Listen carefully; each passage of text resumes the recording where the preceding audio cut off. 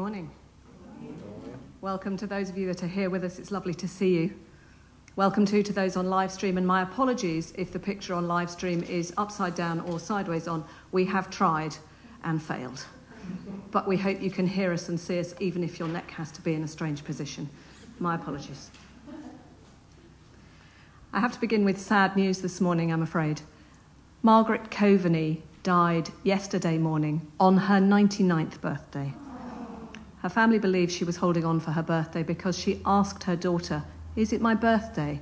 And her daughter said, Yes, it is, Mum. Happy birthday. And she died a little while later. She died very peacefully at home, having been very frail for the last couple of weeks. So our thoughts are with her family today. But what a fantastic age.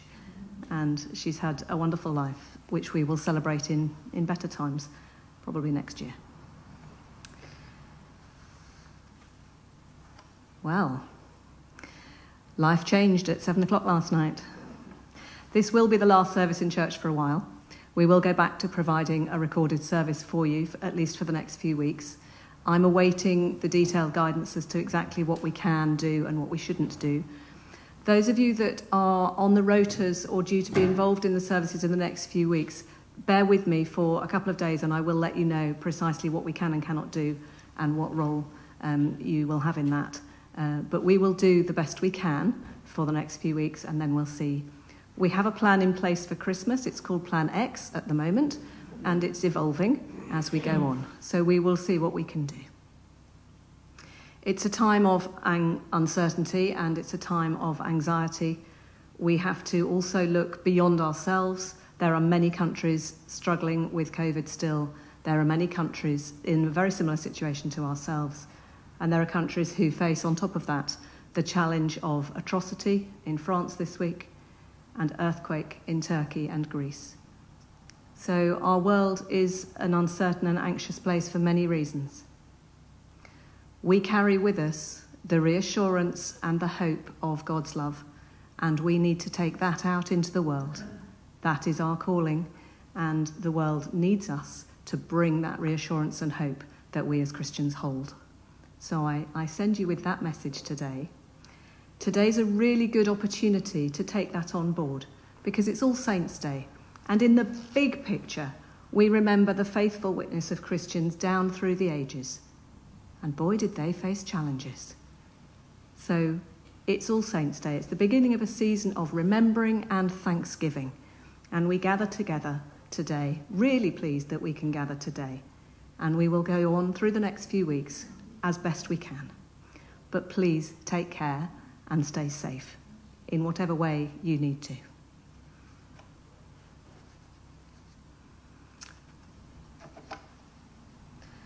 So we begin our service with the words of welcome. Welcome in the name of Christ.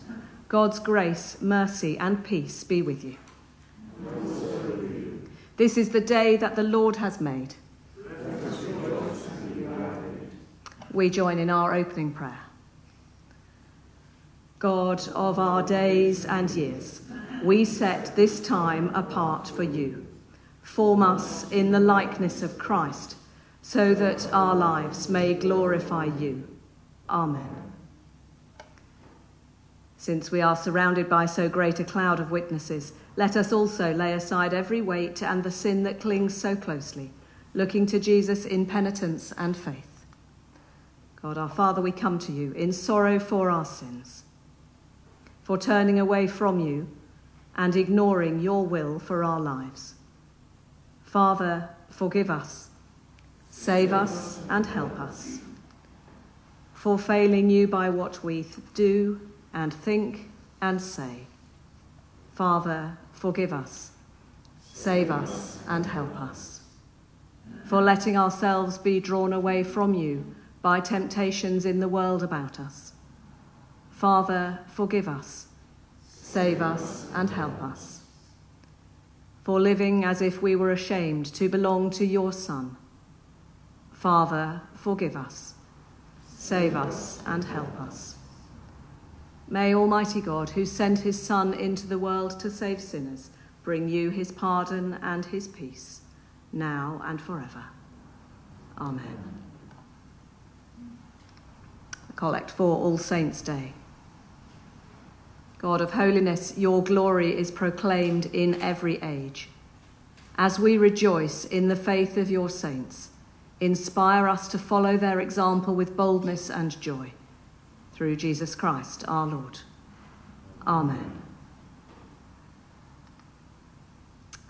Fred has our reading this morning. A reading from the book of Revelation. After this I looked, and there was a great multitude that no one could count, from every nation from all tribes and peoples and languages, standing before the throne and before the Lamb, robed in white with palm branches in their hands. They cried out in a loud voice, saying, Salvation belongs to our God, who is seated on the throne, and to the Lamb. And all the angels stood around the throne, and around the elders and the four living creatures. And they fell on their faces before the throne and worshipped God singing, Amen.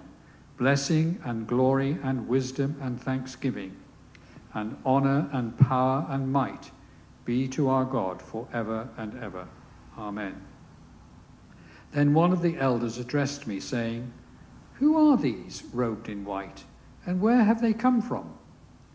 I said to him, Sir, you are the one that knows. Then he said to me, these are they who have come out of the great ordeal. They have washed their robes and made them white in the blood of the Lamb. For this reason, they are before the throne of God and worship him day and night within his temple. And the one who is seated on the throne will shelter them. They will hunger no more and thirst no more.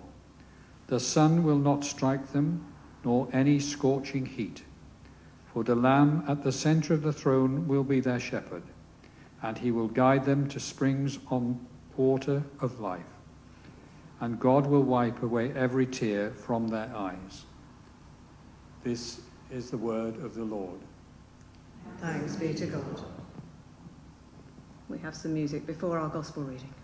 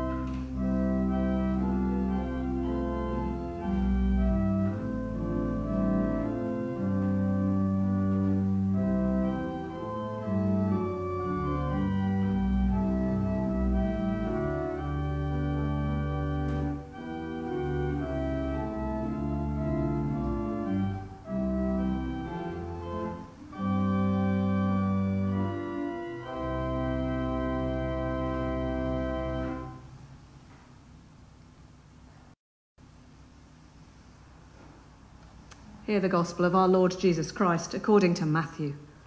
Glory to you, O Lord. When Jesus saw the crowds, he went up the mountain, and after he sat down, his disciples came to him. Then he began to speak and taught them, saying, Blessed are the poor in spirit, for theirs is the kingdom of heaven. Blessed are those who mourn, for they will be comforted. Blessed are the meek, for they will inherit the earth. Blessed are those who hunger and thirst for righteousness, for they will be filled. Blessed are the merciful, for they will receive mercy. Blessed are the pure in heart, for they will see God. Blessed are the peacemakers, for they will be called children of God. Blessed are those who are persecuted for righteousness' sake, for theirs is the kingdom of heaven. Blessed are you when people revile you and persecute you and utter all kinds of evil against you falsely on my account. Rejoice and be glad, for your reward is great in heaven. For in the same way they persecuted the prophets who were before you. This is the gospel of the Lord. Praise to you, O Christ.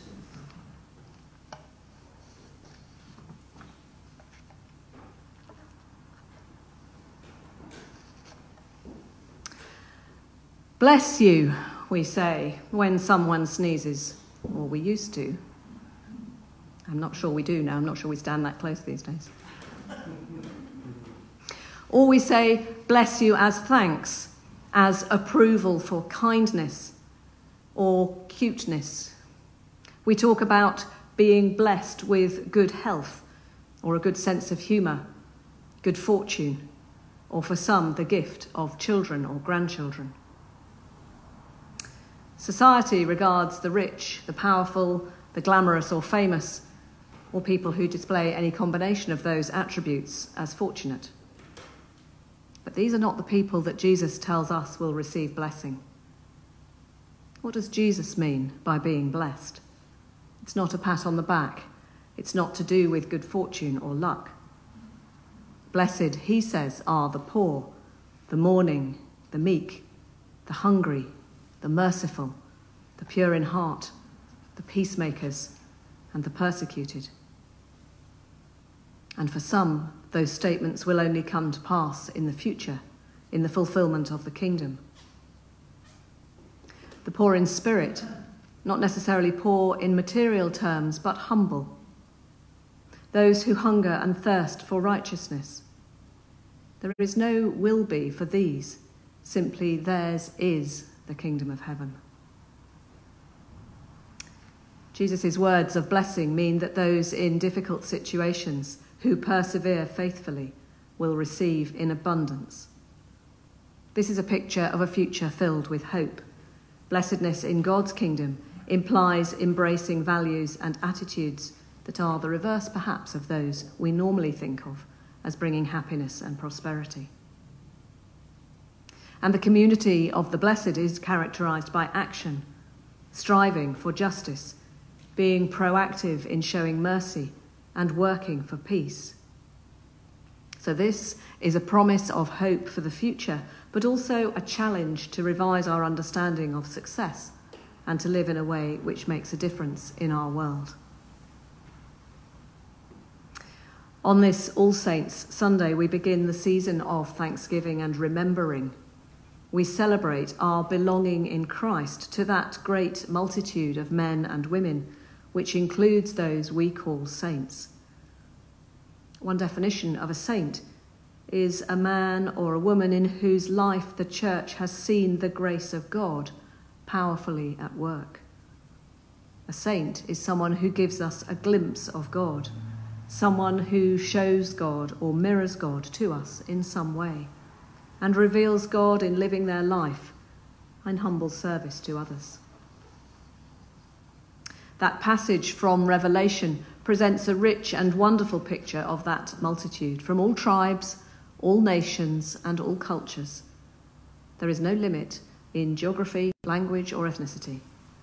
We hear that these are they who have come out of the great ordeal, and now they stand around the throne of the Lamb in white with palms, worshipping. Their rewards are great. They have found a freedom, and they receive shelter.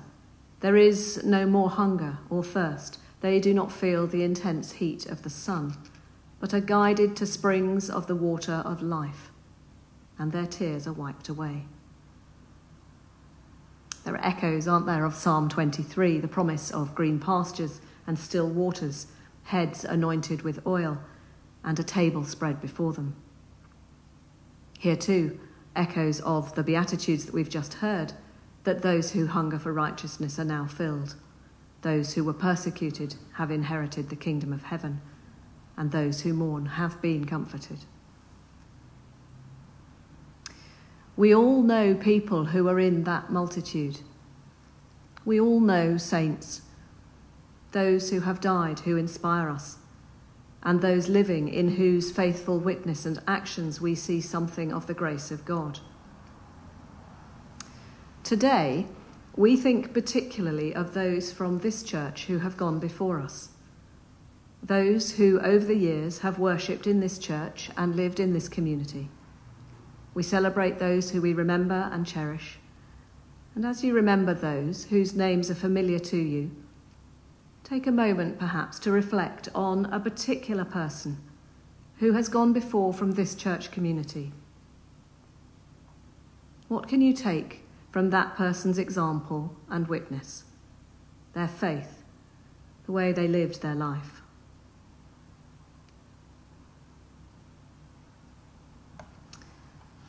I want to share with you a lovely poem by Malcolm Guite called The Last Beatitude.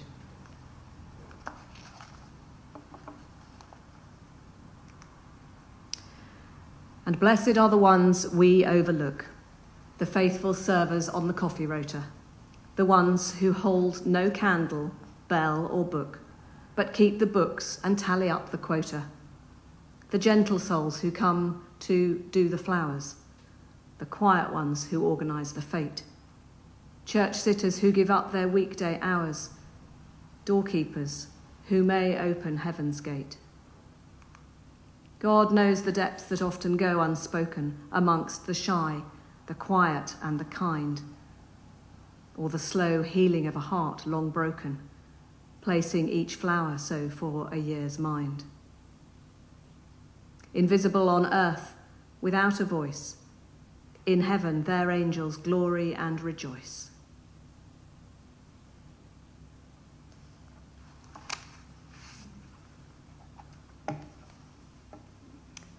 After this service, we will go outside and unveil a memorial just in the shrubbery outside. The slate is engraved with the words Remember before God all those who have worshipped here, and give thanks for their witness. as we celebrate the saints, we ponder how we are to live out our baptismal vocation to be faithful witnesses. We are promised that if we live out that vocation, we too will find freedom. But sanctity is only partially about our actions as Christians, it is also the work of God. The saints are God's saints. God creates them by grace. No one became a saint through determination or ambition. It is a divine gift God's power at work in human lives. And it's manifest in many different ways, for some have become saints because of their teaching or for their care of others, for their wisdom or their humility. And like all humans, the saints have had faults and limitations. God knows all our faults and all our limitations but His grace at work in human lives has created saints as examples and inspiration for us all. So let us reflect for a moment on that image of the multitude, blessed by the grace and mercy of God. We celebrate our belonging with them in Christ. Let us take their example with us into, uh, into our lives this week. Let us rejoice in God's saints today and always. Amen.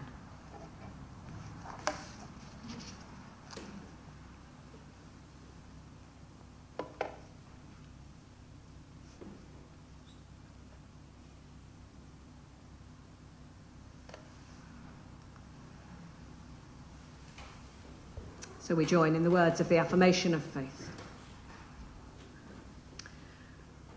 We believe in God the Father, from whom every family in heaven and on earth is named.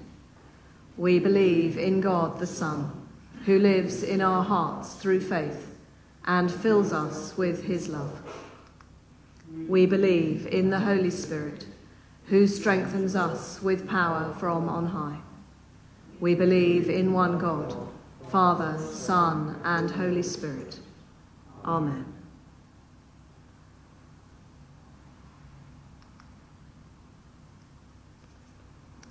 We come to our prayers. Do we want some music before our prayers, Janet, or not? Music before our prayers or not? Yes, music before our prayers, okay.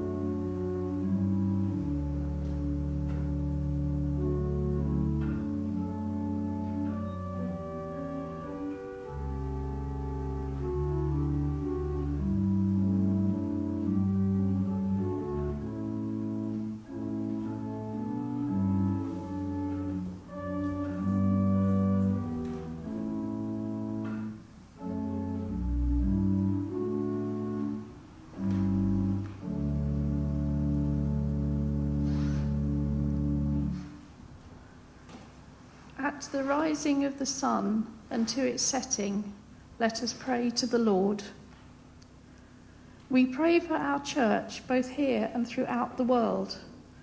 Inspire our leaders in their work, that they may make the best decisions they can to move your church forward in these troubled times.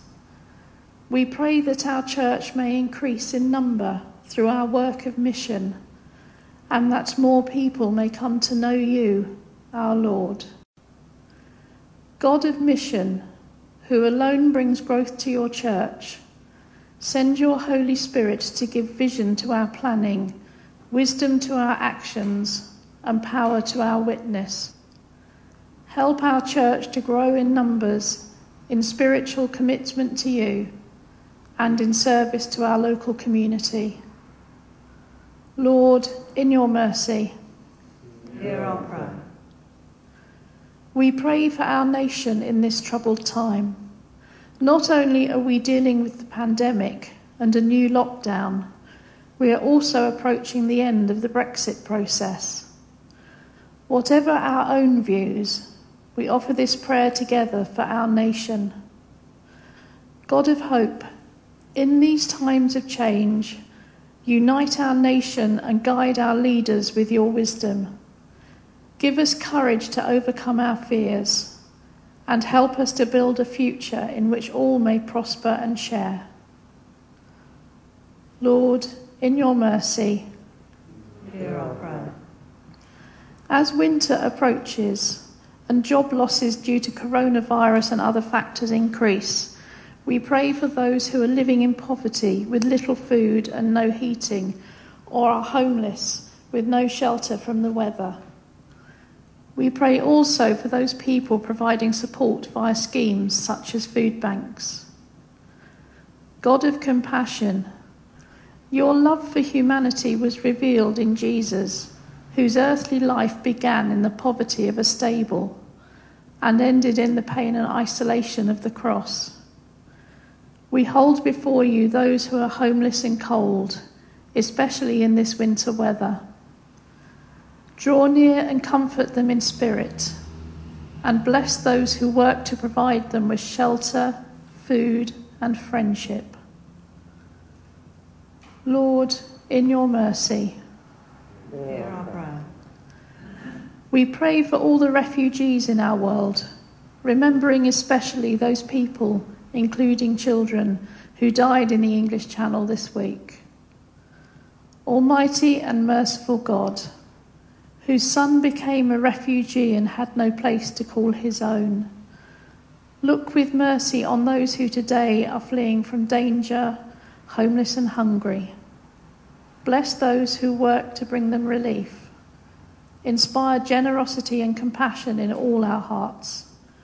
And guide the nations of the world towards that day when all will rejoice in your kingdom of justice and of peace. Lord, in your mercy, we pray for all people being wrongly held captive in our world, those who are being held hostage, those wrongly jailed, and those being held due to their religious beliefs. Merciful Father, we cry to you from the depths of our concern. For those wrongly imprisoned or held captive. For those trying to secure their release, that the ways of peace and diplomacy may prevail over acts of violence and aggression, that their captors may know a change of heart. Through him who was sent to proclaim liberty for captives and to set free those who are oppressed. Lord, in your mercy, Hear our prayer. we pray for the sick as the coronavirus creeps back into our lives, we pray for all those affected by this or any illness at this time. In our parish, we pray for Judy Smart, Joy Alcock, Richard Sewell, Betty Russell, Michael Euston, Sarah, Guy Shepherd, and Dorothy Corney. And we also pray for those known only to us. Keep us, good Lord, under the shadow of your mercy. Sustain and support the anxious. Be with those who care for the sick. And lift up all who are brought low, that we may find comfort knowing that nothing can separate us from your love in Christ Jesus our Lord. Lord, in your mercy, hear our prayer. At this time, we remember those who have died. From the parish, we remember Jim Benny, Mary Rich, and Margaret Coveney. And at their year's mind, we remember Barbara Tudor Jones and Stuart Robb. Lord, in November, we call to mind all those whose lives are done. We thank you that their time, now completed, however short or long, sad or joyful, is gathered up, looked on, and known by you. We offer up remembrance, those whose absence we feel daily, those who have shaped us, those who have nurtured us, the people we are grateful to have walked with, all those we hardly knew but wished we'd known better. We give thanks for all they gave and all the future owes them. Lord, your love embraces every person who has ever lived. You promised that you lost none. May your Spirit make us always thankful for all our gifts of love and cherished memory. Lord, in your mercy, Hear our prayer. on this All Saints' Day, Lord, we thank you for the saints now gone before us whose faith defined their living and their dying, those who loved you more than their own lives, those who are still mirrors of your love. We celebrate the saints who walk among us rejoicing while they walk in your footsteps, making your name known in a fractured world against injustice, prejudice, hatred, evil. We stand with those who sacrifice themselves to bring about your kingdom here on earth. Lord, your grace shines in the lives of saints. We thank you for their example, their holy words. Your Spirit inspired them. Come, Holy Spirit, inspire us to be saints in your church now. Merciful Father, Accept these prayers for the sake of your Son, our Saviour Jesus Christ. Amen.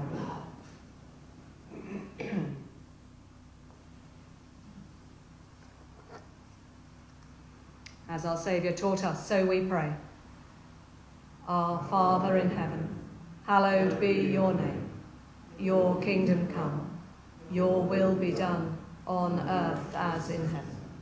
Give us today our daily bread. Forgive us our sins, as we forgive those who sin against us. Lead us not into temptation, but deliver us from evil. For the kingdom, the power, and the glory are yours, now and forever. Amen.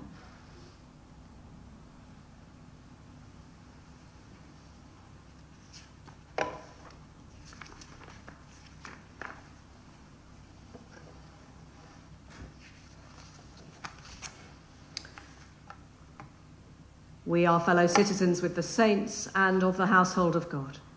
Through Christ our Lord, who came and preached peace to those who were far off and those who were near. The peace of the Lord be always with you. Do offer one another a sign of peace from where you are.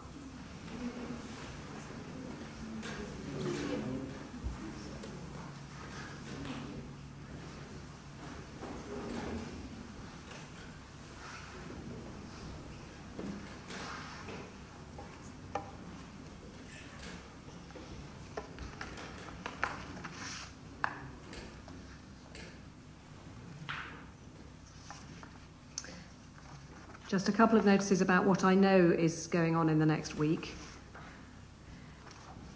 We will have a service here on Tuesday morning. Um, we won't, I think, have the following Tuesday service on the 17th of November, but we will have a service here on this Tuesday morning. Please let those know who are not here or may not know by email um, that they are very welcome in church on Tuesday morning. The, there is um, an All Souls Remembrance service from St Nicholas next Saturday afternoon. I believe we will be going ahead with that service. We were going to do it by Zoom, and as far as I know, that will still go ahead by Zoom. If you would like names of loved ones read out at that service, do please let the parish office know. Uh, we need to know probably by Wednesday, please, um, so that the list of names can be prepared for that service and the list will be read out during that service. Next Sunday is Remembrance Sunday. There will be no public service at the War Memorial in Harpenden um, for obvious reasons, but we will have a special act of remembrance. Um, that act of remembrance will be part of the service at St Nicholas, but they're making a recording of it, which we also will be able to use. So I will use that as part of our service next weekend. Um, so do watch next weekend and see, and you will be part of the act of remembrance for the town as well.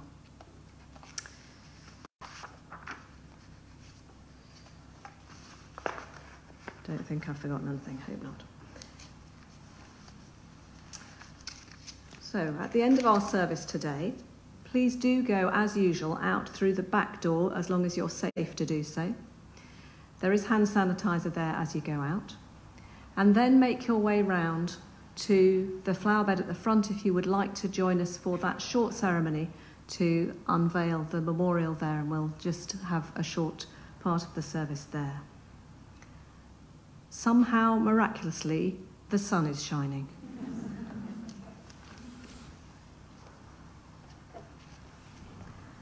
I'll see you there. Um, we will um, stop the live stream, but we are going to make a video recording of the ceremony outside, which we will then post later. So we join in our closing prayer. Glory to God, whose power at work among us can do infinitely more than all we can ask or conceive. To him be glory in the church and in Christ Jesus, forever and ever. Amen. God, who has prepared for us a city with eternal foundations, give you grace to share the inheritance of the saints in glory and the blessing of God Almighty, the Father, the Son, and the Holy Spirit be among you and remain with you always. Amen. Go in peace to love and serve the Lord. In the name of Christ. Amen.